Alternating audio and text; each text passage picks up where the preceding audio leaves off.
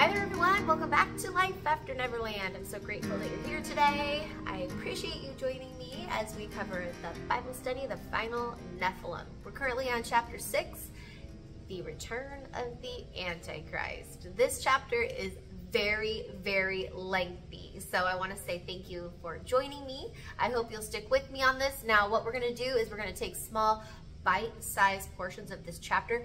Probably we're going to be working on this chapter for several weeks. And the topic we're going to discuss specifically today is, or the person I should say, is Nimrod himself. And what we're doing here is we're kind of talking about different leaders, men in the Bible who had an antichrist spirit, one in which we've said many times that there's nothing new under the sun.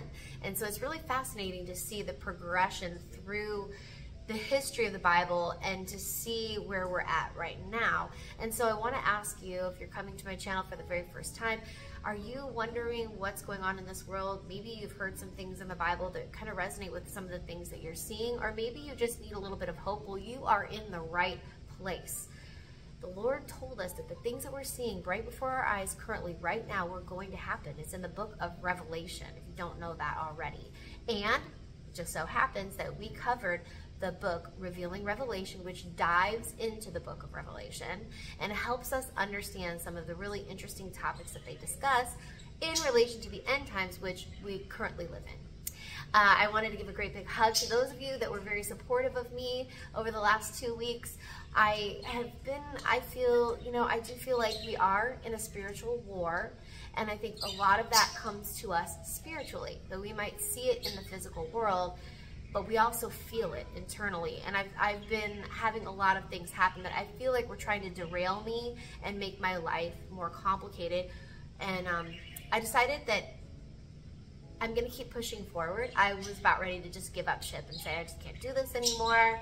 Um, and also YouTube's just literally, I feel suppressing what I'm saying because I talk about Israel. I talk about the Bible.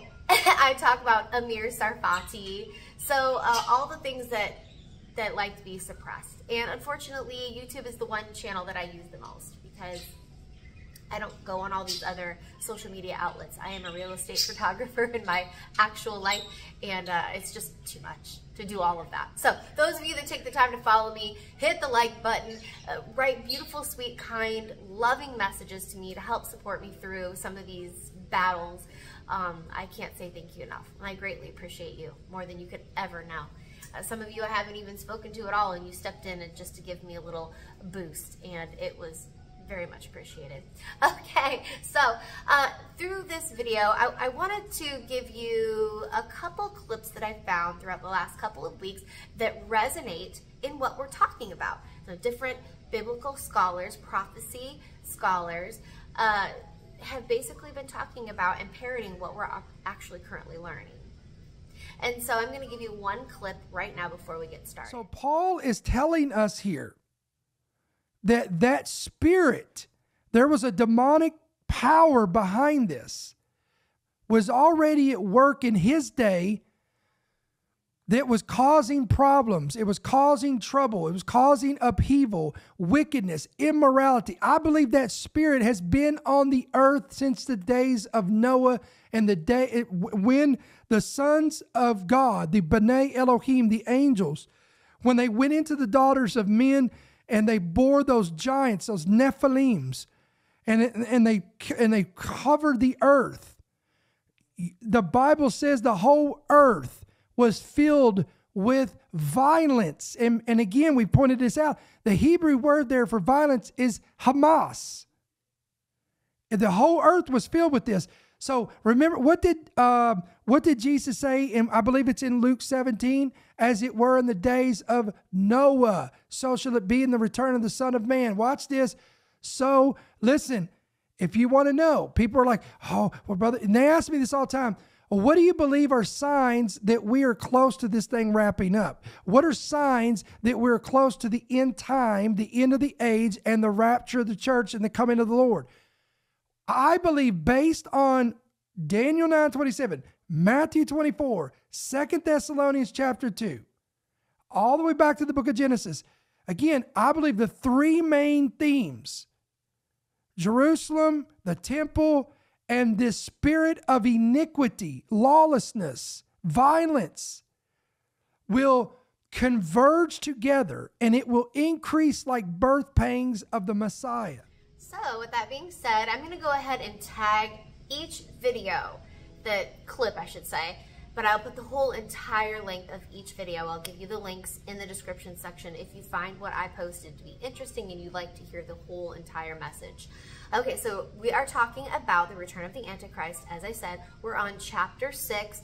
And it says here, Revelation 17, which is what we're specifically going to be talking about and diving into, contains one of the most mysterious passages in the Bible, as it details seven incarnations of the Antichrist through time. The spirit of the Assyrian has been permitted to indwell certain notorious figures throughout biblical history.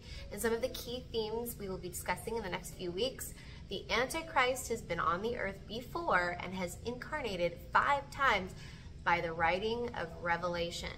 The sixth indwelling took place during the life of the Apostle John, the Revelator. The seventh was to come in the future, reign for a short period, and give way to the eighth, the Antichrist. All these satanic mystery kings gave clear evidence that they were a part of the satanic spiritual lineage leading to the last king, the final Nephilim. Just to get a little context here, let's read Revelation 17, 10 through 11. So go ahead, pull up your Bible and read along with me. Thanks. Five kings have already fallen. The sixth now reigns, and the seventh is yet to come. But his reign will be brief The scarlet beast that was, but is no longer, is the eighth king. He is like the other seven, and he too is headed for destruction. So let's unpack that just a little bit. It says here in the book, Scripture establishes Jesus Christ as he that is and was and is to come. The final Nephilim is he that was and is not and shall ascend out of the bottomless pit. Thus, unlike Jesus, who has existed continually, the Antichrist has lived in the past, then died, and will later return to earth. The seven kings represent incarnations of this angelic being throughout biblical history. Ryan Pitterson, the author of this book, he wants us to point out an author named Peter Good Goodgame, and he explained this concept in one of his books, Red Moon Rising. And he said this the seven heads of Satan that are also shown as seven heads of the beast are explained as being seven kings. There are seven satanic kings that ruled on the earth during different periods in history, and they have all been enemies of God, each possessing a blasphemous name. The seventh king would then be followed by the Antichrist himself, who would be the eighth but also the seven. John wrote the book of Revelation, and by this time, five of these mystery kings had died. One of them, the sixth, was alive at the time of the writing of the book. The seventh was not yet come, but would come only for a short space. And the beast, the Antichrist, would be the eighth, but of the seven, and ultimately going to perdition. What this complex passage is stating is that the Antichrist has existed before. And there's a huge glare from my computer. So let me fix that. Okay, we got it fixed. Sorry. So this is something that really hit a chord with me in the book. And so I highlighted it. So I'm going to read it for you. Okay. The fallen angel known as the Assyrian, Abaddon, and Apollyon has indwelled other people in the past. And during the day of the Lord, in the days of the great tribulation, he will make one final appearance as the end times Antichrist. And so now, going back to the Bible study, it says here, the Assyrian, and if, if you guys are confused as to why I'm using the word Assyrian, if you're just now joining me, you're going to have to go back um, to the beginning when I first started uh, the study, so, so it'll all come together for you. The Assyrian, the fallen angel who will indwell and possess the body of the Antichrist, was initially banished to the abyss, where he remained chained under darkness with the rest of the Genesis 6 rebel angels. However, he has been permitted to emerge from the abyss throughout biblical history and indwell certain notorious figures. This is confirmed in Revelation 17, 7 through 11. So let's go ahead and read all of that so that you can get the whole visual. Now we just read Revelation 17, 10 through 11. So we're just going to add a little bit extra, okay? Go back up and repeat just a, a smidge, okay? Why are you so amazed? The angel asked. I will tell you the mystery of this woman and the beast with seven heads and ten horns on which she sits. The beast you saw was once alive, but isn't now, and yet he will soon come up out of the bottomless pit and go to eternal destruction.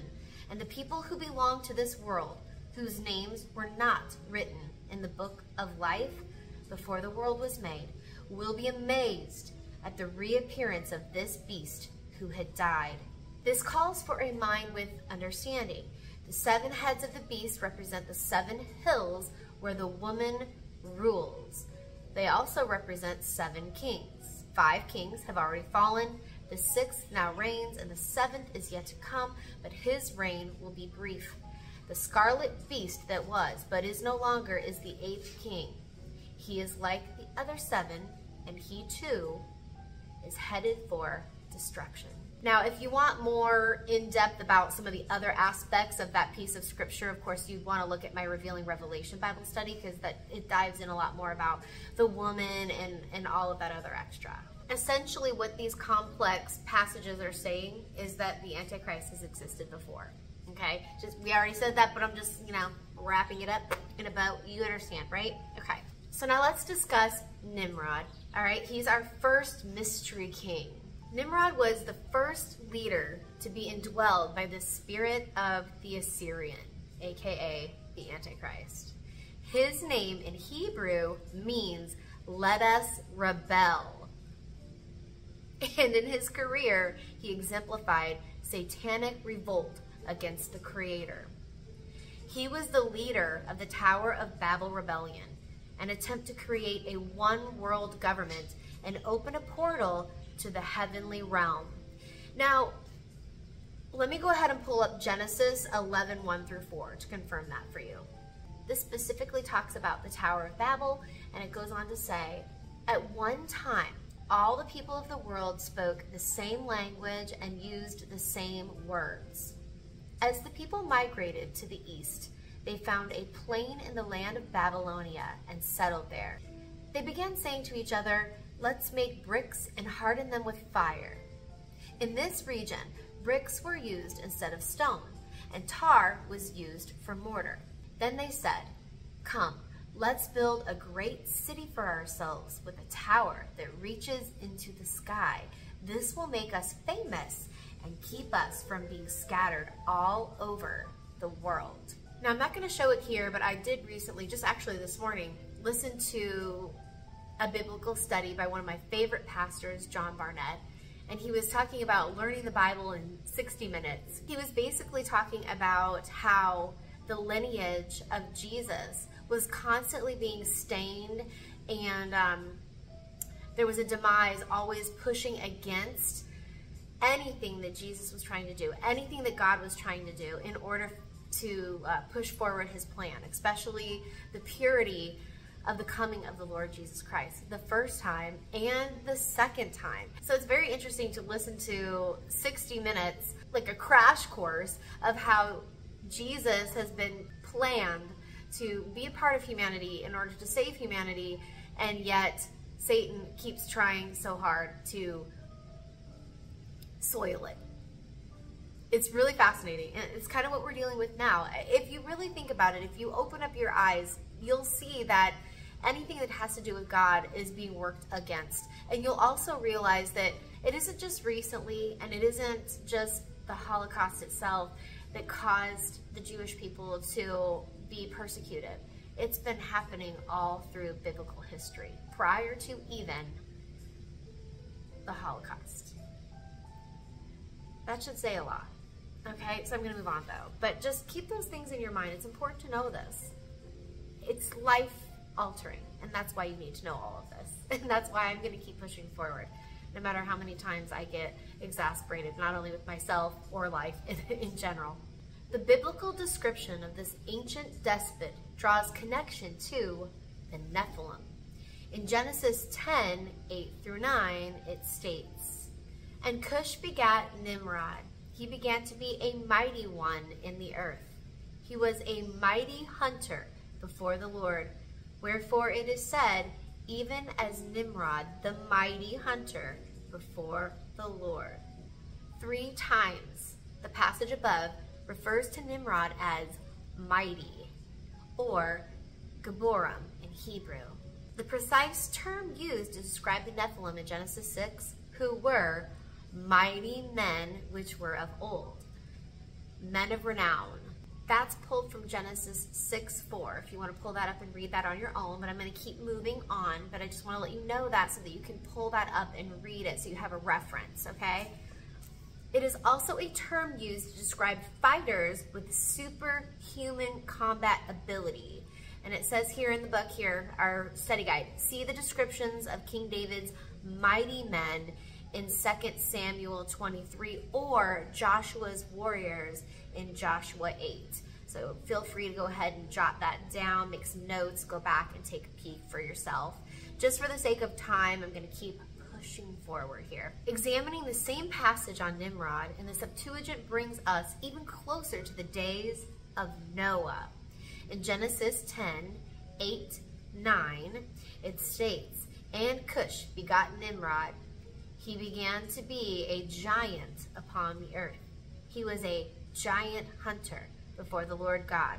Therefore, they say, as Nimrod, the giant hunter before the Lord. The Septuagint calls Nimrod a giant, and with his aspirations to rule over the world, usurp earth and heaven, and form a one world government. Sound familiar?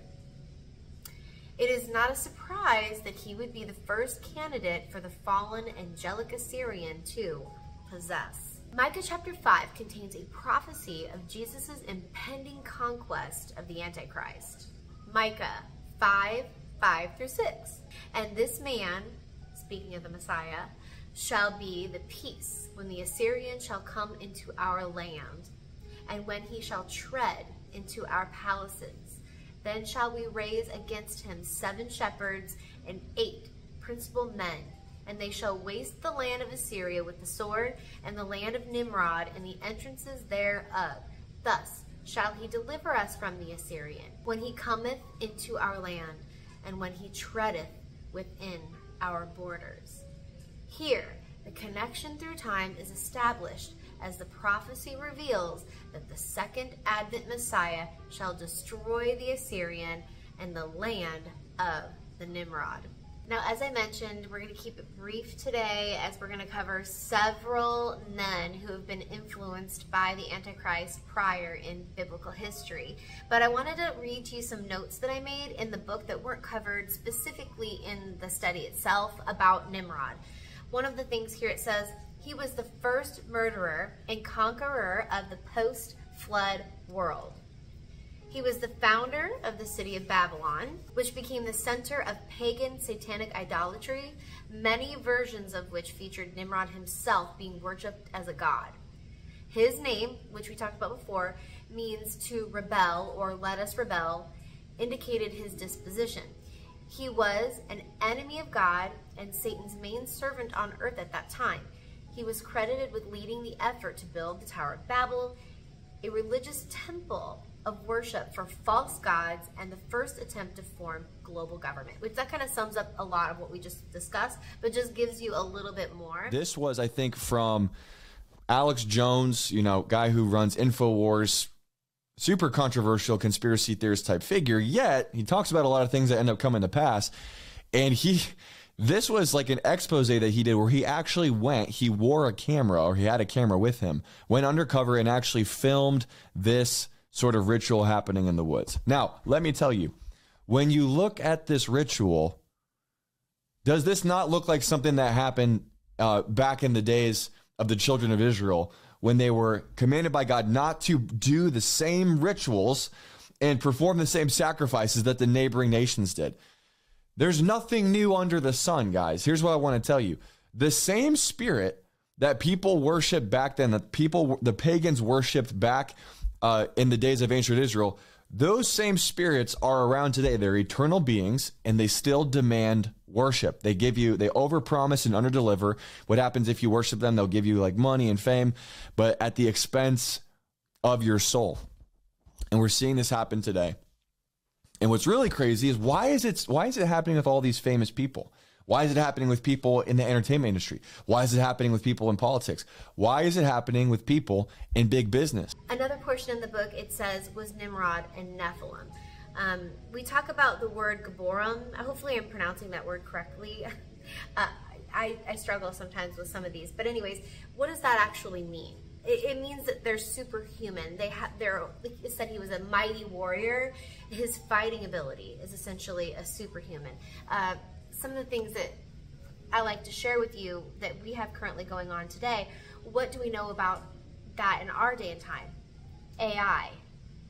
AI is going to be the new superhuman. And there already there's one person that had a chip put in their brain where they can actually move things with their mind.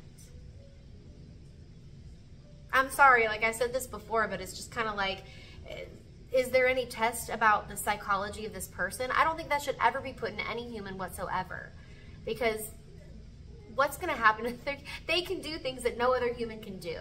How can you possibly not have an ego when you can literally do things that no one else can do? Ridiculous. All right, anyways, it says here, um, again, it says Nimrod was the first of the post-flood Gaborim, far exceeding his contemporaries in combat.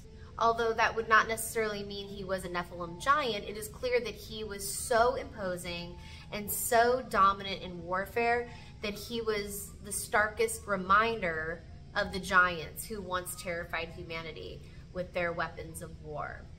Just other things to note is that the Tower of Babel rebellion was the earliest corporate assault against the Lord recorded after the flood, and it represented the effort to establish a global governance, and that's repeated over and over again, and I think it's simply because look at where we are right now.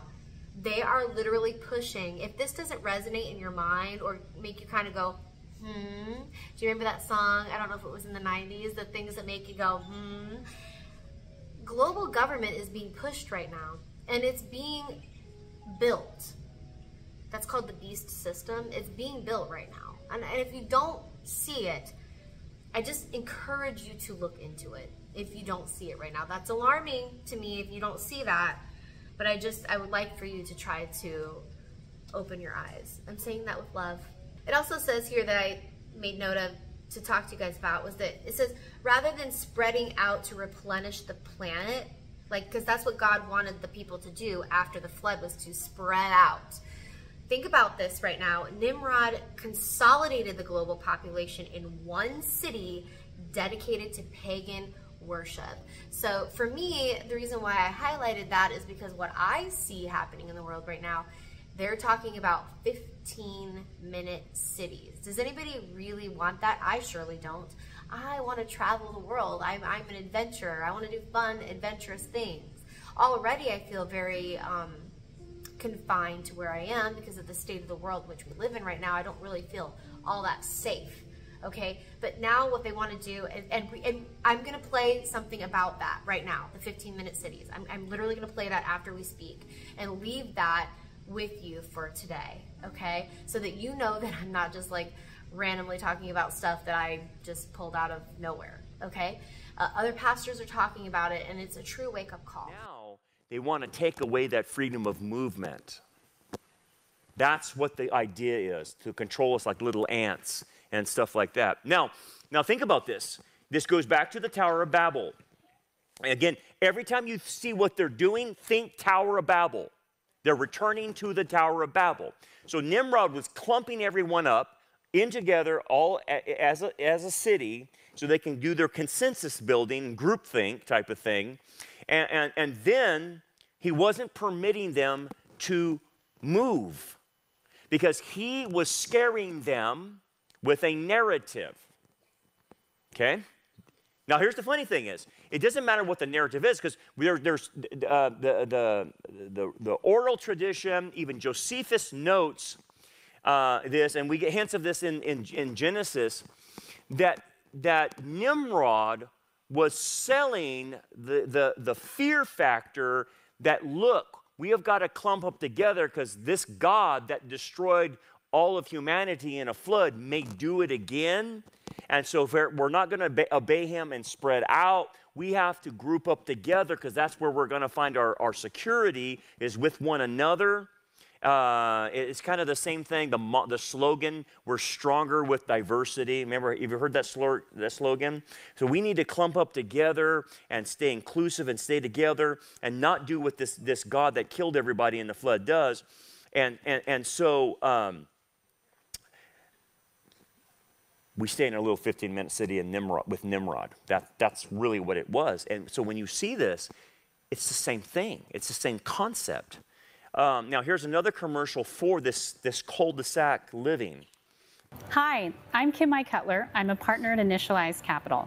Did you know that only 8% of Americans live in walkable neighborhoods?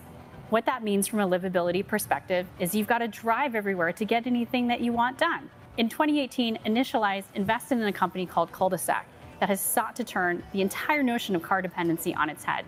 They've done this by building one of the very first car-free neighborhoods that this country has probably seen in decades. We're here in Tempe, Arizona, which is just east of Phoenix, to see their first community. Come with me and let's take a walking tour to check it out.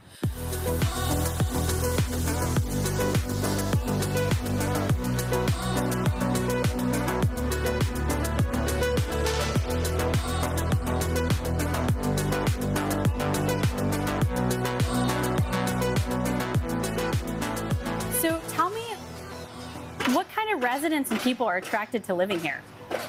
So we see a wide variety of folks interested in car-free living. Really, in wide general, variety. I think it's folks Look at who the ages. want that campus environment, wide variety, social uh, sort of feel with, you know, life lived not through a windshield.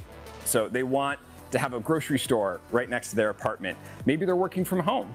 Maybe they're already getting around by bike and they're looking for a place that will have, you know, bike parking indoor, outdoor with charging stations all around. I think we've seen a lot of demand for it, and there's just not a lot of options to live that way in the United States right now. What's changing in the broader Tempe Phoenix area to enable e-bikes and this type of living? So the light rail investment was massive. You can get to downtown Mesa, downtown Phoenix, hundreds of thousands of jobs by the light rail. We've also now got Waymo directly to Culdesac Tempe. Uh, and so this is the largest autonomous vehicle zone active in the world right now. And on top of that, Tempe, Phoenix, so many of these cities are making great investments in bicycle infrastructure. Safe, protected, painted lanes so that our residents can get around in a variety of ways. And so there's a lot of freedom and mobility coming to oh, Metro Phoenix. It's the right opposite. Now. Thursday nights, um, when the weather's nice, uh, we throw an event called Little Cholla, where we have small business vendors, live music, food trucks, uh, we've done in this plaza right here a little roller rink. We've got vintage markets, people selling all sorts of things. But it's really exciting how we're layering all these different vibrant aspects of a community into this space here. It's not just the big retail, it's not just the gym or the plazas or the courtyards. It's also the events that we throw, the partners we have, the small businesses who come here every Thursday in the spring and fall. Yeah. There's a lot to living in Culdesac Tempe. Awesome. Wow. So it's the opposite of what he said. It's not freedom, it's, it's enslavement. That's what it is. It's a techno enslavement w- without walls, is basically what we have. So, okay. with all of that being said, you guys, I, I appreciate you. Thank you so much for joining me. Next week, we're going to cover Pharaoh during Exodus, and he's Mystery King number two. So next week we're going to cover Pharaoh. And I do want to tell you about the spiritual battle that I'm going through. I had someone come to my house, a handyman. I had to leave and go outside for just a little bit. I was currently working on one of my prior studies, and this happened. This is my study guide. My dogs chewed up my study guide. Now, my dogs don't usually act crazy, and I was talking to one of my, my dear friends, her name is Michelle. Uh, she always watches all of these these vlogs, and she was basically saying that you know there can be spirits that are pushed forward through Satan that try to mess with you and throw you off your game. and these types of things have been happening. So, those of you that have been praying for me, I just want to say thank you. And it's greatly appreciated, actually. I take it very seriously. But what's really wild about this is that they chewed all the way up to chapter 6 which is the one that we're currently working on. So thank you, Jesus. he had my back. and way more things happened since that. Um, I, I, I, this is crazy. This has never happened. My dog, Enzo, he's my buddy, and we always go everywhere together. And whenever I go on my real estate photo shoots, sometimes I'll bring him just for safety. I brought him with me. I have a new car because my other car ate it. It literally ate it. By the grace of God, I was able to pull over to safety, but the car was donezo. So I have a new car. And Enzo had diarrhea in my car. He threw up one time. Then I went to go get him water after I'd already cleaned up the diarrhea in the car. I'm, I'm in the middle of a photo shoot here with a professional who wanted to see my dog. And I'm like, oh, how can I do this without her seeing and smelling the fact that he literally took a deuce in my car? So after we left and I was able to like be sneaky and not let her realize that that had happened, he puked, went to the store, I cleaned all that up, gave him some water, and then he projectile vomited all over me, all over, like my whole entire car was completely contaminated. And I had two hours to get home with all of that in my car. ah, completely paranoid as if maybe Enzo might puke again. So, but he's good. I took him to the vet. And my, my friend actually told me, um, her husband is, is the vet. They're, they're my dear friends. She told me that there is a virus going around for dogs right now that's unheard of, that they have never seen before. But by the grace of God,